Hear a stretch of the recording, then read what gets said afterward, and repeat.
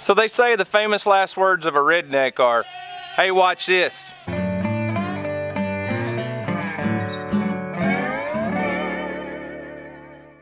Welcome YouTubers of YouTubeville. It's Monday morning, it's my day off, I'm off for three days in a row, gotta get cranking on some videos, time to get started, it's nice and cold outside today, I don't know if you can see my breath, had my morning juice, it's got me all wired up, now I'm gonna take my scraps down to the chickens, turn the goats out, and get started on my day. Good morning Duke. Are you hung, oh what, what? Hmm? You hungry this morning?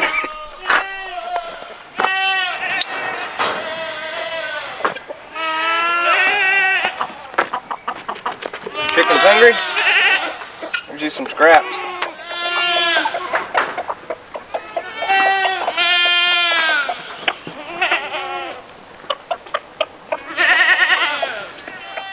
So they say the famous last words of a redneck are, hey watch this.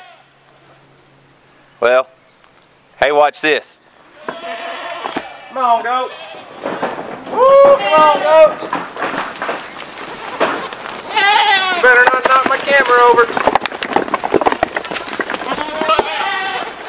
Let's go, let's go.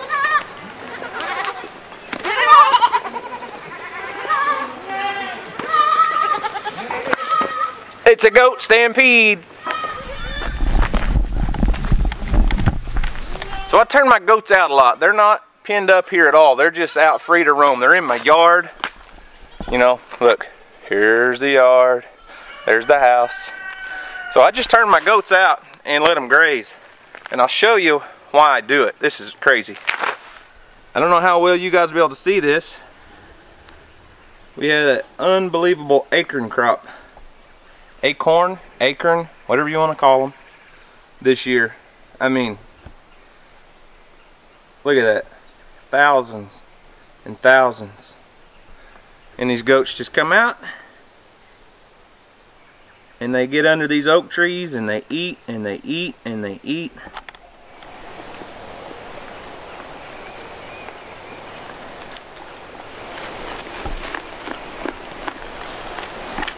Propane company's here topping off my tank today. Getting a little propane. Using way more propane than I expected this winter. Come to find out, we got a leak. Putting a new flex line on our heater in our bathroom because it's just a little small leak allowing it to bleed out a little bit. It's expensive.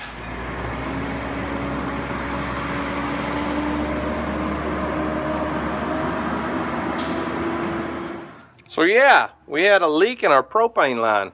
You know, I called them and said, hey, we're about out of propane. Our tank was getting low. Let's go ahead and make a delivery, but let's test our system when you come because I think I got a leak. And they said, well, if your tank's low, you're just going to get that odor because the, the, the chemical that they add into propane to give it that smell gets really strong. So sometimes that odor will come through even when you're burning your fire. I said, yeah, I think I might have a little leak though. Well, guess what? Look at this, this flex line. It's only about, oh, a year old. We just put this propane heater in last winter in our bathroom. Well, this flex line has gone bad already and it was leaking.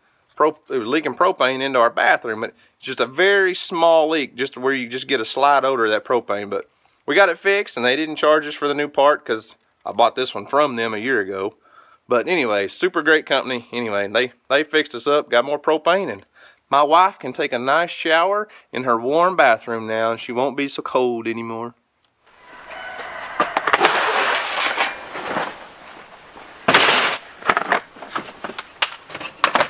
Guys, it's the last day of January and it's probably 75 degrees in my high tunnel right now. I don't have my raised beds filled yet because unfortunately my tractor's still not running, but we're working on that. Got to get the parts. So, don't have the raised beds filled, but I've got to get some plants started. I mean, it's like, it's almost garden season. Got to get a jump to get in this high tunnel to get some of these cool season crops up and going. So we got, you know, we got to get them started so we can get them in the ground when I get these raised beds filled. So, guess what day it is? Today's the day to start some seeds. Let me show you what I'm going to start. So yeah, I'm out here in the high tunnel. Got a few seeds. I'm going to try to plant a few seeds. Got my, got everything ready to go. I know it's way early in the year, guys. I mean, it's not it's not even February yet. But here's the thing. I'm planting in leftover topsoil that I have from last year. I'm planting seeds that are left over from last year. And I've already got the trays. It's not costing me anything. This will be my first, you know, first time um, planting in this high tunnel this time of year. So it's going to be, I know it's early, but I've got a plan that I can get an extra layer of plastic over these seedlings and over these trays. So if we drop down in the 20s, shouldn't be too big of a problem. I'll have uh, two layers of plastic protecting everything. So yeah, and so here's what I'm planting. Um, I've got some collard greens, some Detroit red um, beets, some bok choy, because that's just awesome in the juicer. It's great stuff. Uh, spinach, and my favorite watermelon radishes. So these are all just leftover seeds from last year. So if I don't get 100% germination, who, uh, what am I out, you know? Leftover seeds, leftover soil. So it's time to get my soil blocker out and get to work. Uh, yeah, I said soil blocker. If you've never used one of these, they are awesome. Cats meow. Ten times better than the little plastic cups and the peat pots and all that junk. This little thing takes your own topsoil, your own, you know, potting mix, whatever you use, turns it into a perfect little soil block. Let me show you how it works.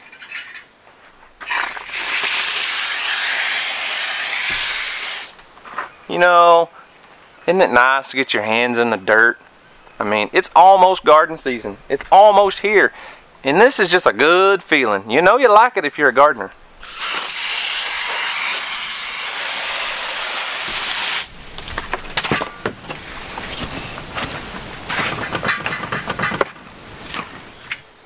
Okay, so I've got my, my soil nice and wet.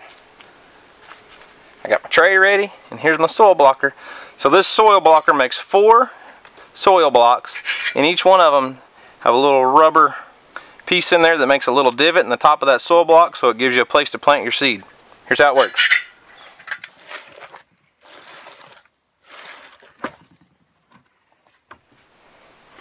Ready for the magic?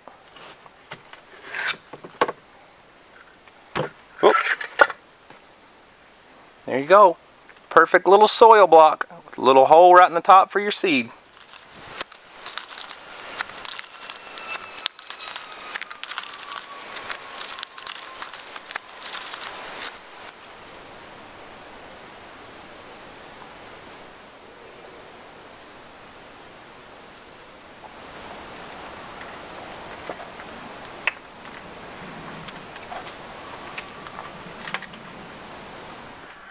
So I've got my seed trays ready.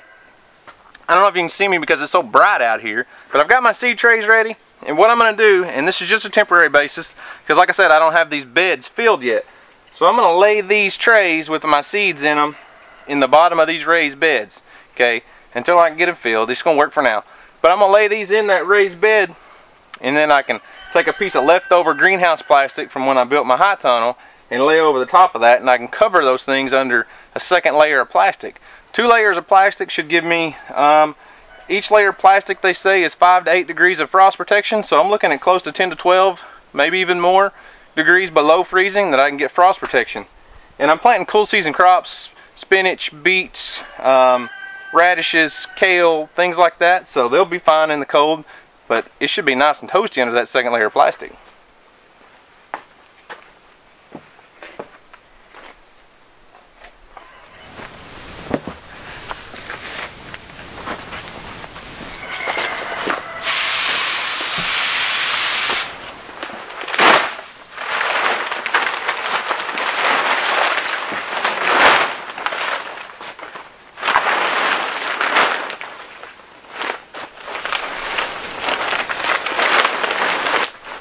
Well, like I said, I'm not doing anything too fancy. I'll get that plastic stretched over that bed and weigh it down a little bit to keep it up. Uh, I'm going to have to keep it uncovered in the day because it's probably 80 degrees in here right now. And like I said, that's old seed from last year. I'm going to use, more than likely, going to use a different seed company this year that I've never used before. And it's probably one that most of you are familiar with. And uh, the guy has a YouTube channel also. It's M.I. Gardener. Um, everything I've read on his stuff, everything seems awesome. His seeds are great. He's got a really cool YouTube channel. He used to post a lot more videos than he does now. But small company, small business, family ran business. Um, but his seeds are 99 cents, guys. He's got excellent quality seeds, excellent quality everything. And I actually uh, have a friend that's kind of talked me into it through her videos. She doesn't realize it probably, but she's talked me into this. So I don't know if you guys know Tangy over at The Caver's Wife. Um, go check her channel out. It's Tangy the Caver's Wife. Tangy's awesome. She's like my YouTube sister. We're really good friends. Awesome person. Anyway, she's got a, a affiliate program with MI Gardener. So if you buy anything on MI Gardener's uh, website, use the uh, coupon code TCW10. So TCW as in the caver's wife 10 for 10%. So the seeds are 99 cents a pack. 99 cents. And then you're going to get 10 cents or well 10% off of that. So it's a good deal. It's worth checking out. Really great prices for some really good seeds. You might check them out. I don't know. I've never bought anything from them before. So this will be my first year like I said. So I'm excited to try it out. Always love supporting a good company. Well, as is the life of a YouTuber, mid-video, card full, it's time to whip out the iPhone and finish what I was saying. Go check out MI Gardener. Go check him out on his website and on YouTube. Check out Tangy over at The Caver's Wife. Awesome lady, awesome channel, awesome family. They're great. Um, anyways, camera's dead. Well, it's not dead. It's cards full, so I got too much on there. So that's all I've got for today. Um, you know, just kind of is what it is. What's going on around here? Got the garden covered up. I got a whole video coming out on that. You may have already seen that by now. Got some seed started in the seed trays in the high tunnel because garden season is upon us. It is coming up soon. Still could get some really cold temperatures in february here in oklahoma but hey that's why i have a high tunnel. Season extension. Early planting of crops. So i'm gonna try it out the rest of the day is going to be busy. Got to go pick up the kids from school, go drop off some stuff at a consignment store for my wife, and then Weston's got a ball game tonight. Katie's got a ball game tonight. Lots of busy stuff, lots of stuff going on. Good day, beautiful weather, got a lot accomplished today.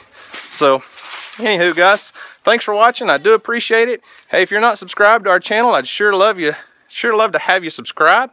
And check us out on Facebook, Instagram, all that stuff, Arms Family Homestead. Guys, y'all have a great day. We'll see you on the next video.